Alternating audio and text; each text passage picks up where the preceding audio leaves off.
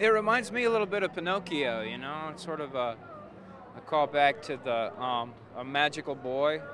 Um, I mean, all kids are kind of magical. I think uh, Timothy's sort of especially magical in that uh, they don't they don't quite know where he comes from and and uh, they're not quite sure where he's going. But uh, and it's grounded in something I think everybody can relate to is wanting to start a family, you know. And I think it's great to have the magical boy element, but it's also a very real story about a couple who is just desperate to start their family.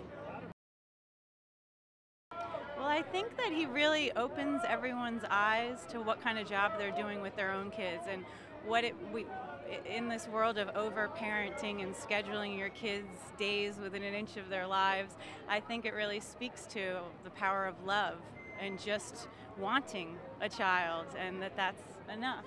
yeah, Timothy's not really concerned about what he's supposed to be. He's just kind of who he is, and uh, and I think that has an effect on everybody around him.